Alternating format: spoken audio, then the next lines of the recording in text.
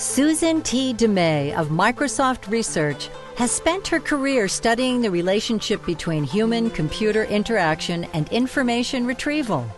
Her novel algorithms and interfaces have improved the ways we find, use, and make sense of information. She demonstrated how different people use different words to describe the same thing, and how this apparent mismatch limited traditional keyword based information retrieval. She and her colleagues developed latent semantic indexing to improve the situation. LSI analyzes associations between terms in similar contexts so search engines can retrieve using concepts instead of keywords.